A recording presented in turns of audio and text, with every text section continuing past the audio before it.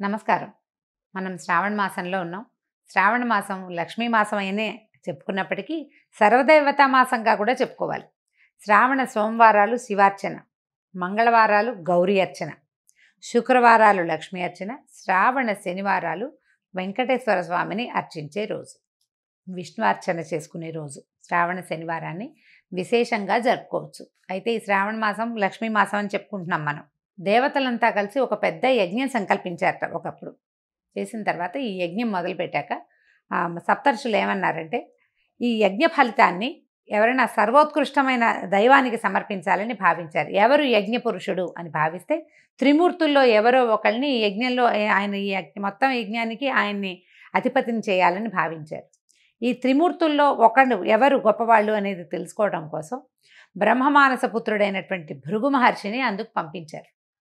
అయితే భృగువు ముందు బ్రహ్మలోకానికి వెళ్తే తండ్రిని ఎంత పిలిచినా ఆయన పలకలేదట. ఆయన సృష్టి క్రమంలో ఆయన హడావిడిలో ఆయన ఉన్నాడనమాట సృష్టి చేసే పనిలో. వాడిని సరస్వతిదేవి వీణ వాయిస్తోంది. ఆయన వీణానాదం వింటూ తన బొమ్మలు చేసుకునే పనిలో మునిగిపోయాడు. దాంతో ఆయనకి విసుగు పుట్టింది. నువ్వు యజ్ఞపురుషుడిగా ఎట్లా పనికొస్తావు? పనికిరావు. నీకు అసలు దేవతార్చనే ఉండదు. అర్చనే ఉండదని స్వయంగా తండ్రినే శపించాడు భృగువు. ఆ తర్వాత ఆయన కైలాసానికి వెళ్ళాడు. కైలాసంలో శివపార్వతులు ఇద్దరు ఆయన తాండవము ఆమె లాస్యంలో మునిగి వాళ్ళిద్దరూ ఆనంద నృత్యం చేసుకుంటున్నారు. భృగువు ఎంత పిలిచినా వాళ్ళు పలకల. దాంతో ఆయనకి ఇట్లా లోలత్వంతో ప్రవర్తిస్తున్నావు కాబట్టి కేవలం లింగ రూప ఆరాధనే ఉంటుంది నీకు సాకార రూప ఆరాధన ఉండదని పరమేశ్వరుని కూడా శపించాడు. ఈయన ఒక మహర్షి ఈయనకి శపించాలన్న ఉద్దేశం కలిగింది అట్లా. అక్కడి నుంచి మూడో వ్యక్తి అయినటువంటి శ్రీ మహావిష్ణువుని పరిశీలించడం కోసం ఆయన యొక్క పరిస్థితి ఏమిటో చూడడం కోసం భృగు మహర్షి వైకుంఠానికి వెళ్ళారు. వెళ్ళేసరికల్లా విష్ణువు లక్ష్మీదేవి వాళ్ళ ఆనందంలో వాళ్ళు ఉన్నారు. ఆయన నిద్రలో ఉన్నాడు. నిద్రావస్థలో ఆమె పాదాలు ఒత్తుతూ మైమరపడుతోటి ఆవిడ ఉంది. ఉండేసరికల్లా ఆయన ఎంత పిలిచినా పలకట్లేదని కోపంతో మహావిష్ణువుని గుండెల మీద కాలుతోటి తన్నాడు.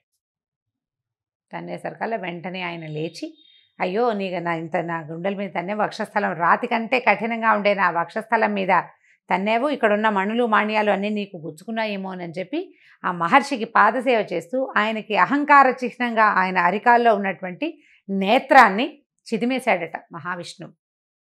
దాంతో ఆయన వెంటనే భగవంతుడే తన పాదాలు పట్టుకున్నాడనే విషయాన్ని జ్ఞ- జ్ఞప్తికి వచ్చిందనమాట అంతకు ముందంతా నేను ఋషిని బ్రహ్మజ్ఞానం కలిగిన వాడిని అహంకరించిని ఆ అహంకారంతో తండ్రిని సాక్షాత్తు తనకి తండ్రి అయిన బ్రహ్మదేవుణ్ణి తర్వాత సర్వలయంకారకరుడైనటువంటి పరమేశ్వరుణ్ణి కూడా శపించి ఈ మహావిష్ణువు మీద ఇటువంటి అవజ్ఞతోటి ప్రవర్తించానని చాలా సిగ్గుపడి బాధపడ్డాడు. బాధపడి ఏమనుకున్నాడంటే ఈ యజ్ఞానికి యజ్ఞపురుషుడు మహావిష్ణువు అని నిర్ధారించుకుని వెళ్ళిపోయాడు. నిజానికి భృగు మహర్షి ఒక కల్పంలో మహాలక్ష్మికి తండ్రి. ఆమెను భార్గవి అంటారు. ఈ కల్పంలో ఈవిడ క్షీరసాగరం నుంచి ఉద్భవించిందనమాట ఆమె కోపం పట్టలేకపోయింది. ఆయన నిన్ను తంతే నా స్థానమైన హృదయాన్ని తన్నాడు నన్ను హృదయంలో పెట్టుకుంటానన్నావు నువ్వు. ఆ స్థానంలో తన్నాడు కాబట్టి నేను నీతోటి ఉండను ఈ అవమానాన్ని నేను సహించలేనని వెళ్ళిపోయింది. పిల్లలు ఆయన మన కుమారుడు కుమారుని వంటి వాడు. శిశువు మన శిశువు తంతే మనం అప కోపం తెచ్చుకుంటామా అని విష్ణువు బతిమలాడినా ఆవిడ ఒప్పుకోలేదు. నా శిశువైనా సరే నన్ను తనడానికి వీల్లేదని కోపగించుకుని వెళ్ళిపోయింది. ఆ వెళ్ళిపోయిన ఆవిడ భూమి మీద చేరి కొల్హాపూర్లో తపస్సు చేసుకుంటూ ఉండిపోయింది. ఈ లక్ష్మీదేవి వెళ్ళిపోయేసరికల్లా వైకుంఠం శూన్యమైపోయి మహావిష్ణువు ఆమె కోసం అని వెతుకుతూ భూలోకానికి వచ్చేసాడని ఆ వచ్చేసిన భగవంతుడు మన అదృష్టం కొద్దీ మన తిరుమల కొండలలోనే ఉండిపోయాడు. భూమి చేసుకున్న అదృష్టం భారతీయులు చేసుకున్న అదృష్టం అందులోనూ తెలుగువారి అదృష్టం ఏంటంటే మహావిష్ణువు మన ప్రాంతానికి రావడం.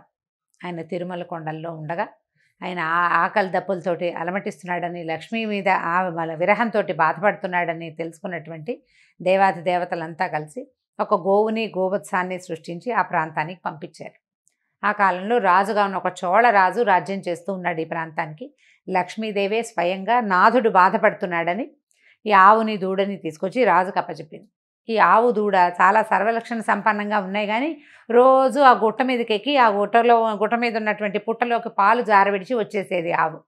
కొన్నాళ్ళకి తెలుసుకుని ఆవు ఇట్లా పుట్టలోకి పాలు విడుస్తోందని దానివల్లే దూడ కూడా పాలు చాలటం లేదని తెలుసుకున్నటువంటి ఇక పశువుల కాపరి ఆ ఆవు ఎక్కడికి వెళ్తుందో గమనించి ఆ ఆవులోంచి ఆవును కొట్టబోయాడు ఆ పుట్టలోంచి పైకి వచ్చినటువంటి మహాపురుషుడిని చూసేసరికల్లా హతమారిపోయాడు. చోళరాజును కూడా రా భగవంతుడు శపించాడు. కళ్ళు పోయాయి పోతాయి నీకు నీ నీ ప్రాంతంలో ఇలాంటి పని జరిగింది కాబట్టి. అయితే అప్పుడు కొంచెం దెబ్బ కూడా తగిలింది మహావిష్ణువుకి. ఆ తర్వాత ఆయన తిరుమల కొండల మీదే వెంకటాద్రి మీదే ఒకళ్ళమాత ఆశ్రమానికి చేరాడు. లక్ష్మీదేవి యొక్క అంశ పద్మావతి దేవిగా ఆకాశరాజుకి దొరికింది. భూమిని భూమిని తనుతూ ఉంటే దువ్వుతూ ఉండగా అంటే నాగేటి చాలలో సీతాదేవి ఎలా దొరికిందో అదేవిధంగా పద్మావతీదేవి పద్మావతి దేవి కూడా ఆకాశరాజుకి నాగేటి చాలలో దొరికింది. ఆ ఆడ శిశువుని పెంచుకున్నారు వాళ్ళు. ఆమెకు పద్మావతి అని పేరు పెట్టారు. ఈ తర్వాత కాలంలో ఈ వెంకటేశ్వర స్వామి మనమే మహావిష్ణువు కొండల మీదకి వెళ్ళటంతో శ్రీనివాసుడు అనే పేరుతోటి అక్కడ ఉండటం మొదలుపెట్టాడు ఒకళ్ళమాత ఆశ్రమాల్లో ఆ తర్వాత కాలంలో ఆయన పద్మావతి దేవిని చూడడం ఆమె ఎందున్నటువంటి లక్ష్మీ అంశకి ఆకర్షితుడయ్యి ఆమెని వివాహం చేసుకుంటానని చెప్పడంతో ఒకళ్ళమాత స్వయంగా ఆకాశరాజు దగ్గరికి వెళ్ళి పద్మావతి శ్రీనివాసుల కళ్యాణం జరిపించింది. ఆ తదనంతరం లక్ష్మీదేవి అక్కడికి వచ్చేయటం పద్మావతి లక్ష్మీదేవుల తాలూకు సంవాదంలో భగవంతుడు సాలగ్రామ రూపిగా అక్కడ శిలాస్వరూపంగా ఈ తిరుమల కొండల మీద వెంకటాద్రి మీద వేయించేసి ఉన్నాడు. అయితే ఇలా వెంకటాద్రి మీద వేయించేసి ఉన్న వెంకటేశ్వర స్వామికి మనం శనివారము వెంకటేశ్వర దినంగా భావిస్తాం. మనం నమ్మ నమ్ముతాం ఖచ్చితంగా. శనివారం నాడు ఉపవాసాలు ఉంటాం. వెంకటేశ్వర స్వామి కోసమే. శనివారం నాడే కాలినడకన దేవాలయానికి వెళ్ళాలనుకుంటాం. వెంకటేశ్వర స్వామి దేవాలయానికి తప్పకుండా వెళ్తాం. అయితే ఈ శ్రావణ మాసంలో ఇది అమ్మవారికి ప్రీతిపాత్రమైన మాసము. అది వెంకటేశ్వర సంబంధమైన మాసం అవడం వల్ల శనివారాల్లో గనక వెంకటేశ్వర స్వామి ఆరాధన చేస్తే ఈ నాలుగు వారాలు విశేషమైన ఫలితం లభిస్తుంది. ఎట్లా భగవంతుడు వెంకటేశ్వరుడుగా మారి దశావతారాలలో లేనిటువంటి ఈ అర్చాస్వరూపము మనకి భూమి మీద ఈ కలియుగానికి మన కోసమే అవతరించిన కథని ఒక్క మాట జ్ఞాపకం చేసుకుని స్వామికి చలిమిడితోటి దీపారాధన గనక చేస్తే చాలా అఖండమైన ఫలితం లభిస్తుంది. మనం చేసే ఈ శ్రావణ మాసపు దైవారాధనలో లక్ష్మీ అమ్మవారి ఆరాధన శివారాధనతో పాటుగా ఇలా వెంకటేశ్వర స్వామి ఆరాధనని కూడా భాగంగా చేసుకోండి. మిగిలిన రోజులు కుదరకపోయినా శ్రావణ మాసంలో శనివారాలు నాలుగు నాలుగు శనివారాలు ఒక పూట భోజనం పగలు భోజనం చేసి రాత్రి భోజనం చేయొద్దు. దాని విధి అదే. అన్నం తినకుండా అన్నాన్ని తద్భిన్నం ఏదైనా తినచ్చు. దీపారాధన చేయటం చలిమిడితోటి ఆవు నెయ్యి బియ్య బెల్లము బియ్య పిండి కలిపి చలిమిడి చేయటం. ఆ చలిమిడిలో చక్కగా గుండ్రంగా ఉండలాగా చేసి దాంట్లో కొంచెం గొయ్యి చేయటం అనమాట లోపలికి కొంచెం నొక్కి అందులో కొంత ఆవు నెయ్యి వేసి దీపం పెట్టడం. ఈ దీపారాధనతోనే స్వామికి ప్రసాదంగాను దీపంగాను సమర్పిస్తామన్నమాట. దీపారాధన అయిన తర్వాత ఆ చలిమిడిని ప్రసాదంగా స్వీకరించడం. పగలు భోజనం చేయొచ్చు రాత్రిపూట భోజనం చేయకూడదు. ఈ నాలుగు శనివారాలు ఇలా చేయటం వల్ల శ్రావణ మాసంలో మనకి అమ్మవారి కరుణతో పాటు అయ్యవారి తాలూకు కృపాకటకషాలు కూడా మనం పాత్రలు అవుతాం. నాలుగు వారాలు ఉన్నాయి తొలి వారం కుదిరినా కుదరకపోయినా తర్వాత వారాలైనా చేసుకోవచ్చు.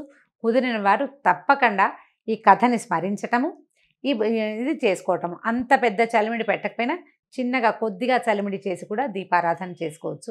దీపారాధన చేయటం వెంకటేశ్వర స్వామికి సంబంధించినటువంటి స్తోత్ర పాఠాలు ఏవైనా చదువుకోవటం ఆయనతో పాటు లక్ష్మీ అమ్మవారి స్తోత్రం కూడా ఒకటి చదవటం. దీపారాధన చేసాం కాబట్టి ముందు తర్వాత ప్రసాదం నైవేద్యం వడపప్పు పానకము అరటిపళ్ళు మీ ఓపిక. పాయసం చేస్తాం పొంగల్ చేస్తాం అంటే అన్నీ కూడా చేసుకోవచ్చు. అవేవి చేయకపోయినా రెండు అరటిపళ్ళతోటి కూడా మనం నైవేద్యాన్ని పూర్తి చేసుకోవచ్చు. పగలు భోజనం చేసి రాత్రి ఉపవాసం ఉంటే మర్నాడు పొద్దున్న మామూలుగా భోజనమే చేసేయచ్చు. దానికి ఇంకా నియమం ఏమీ లేదు.